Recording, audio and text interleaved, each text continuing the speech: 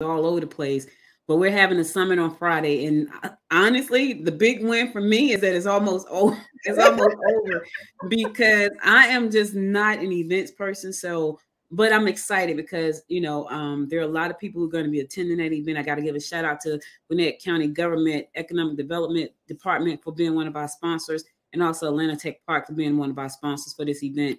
So it's a great event, and I'm, I'm happy that we are doing it. Even though I'm not the events person, I am happy that we are, you know, facilitating this and getting people involved and opening up doors so they can see how, you know, AI can actually help them in their business, but also, you know, maybe they want to start a business in AI. So that's exciting.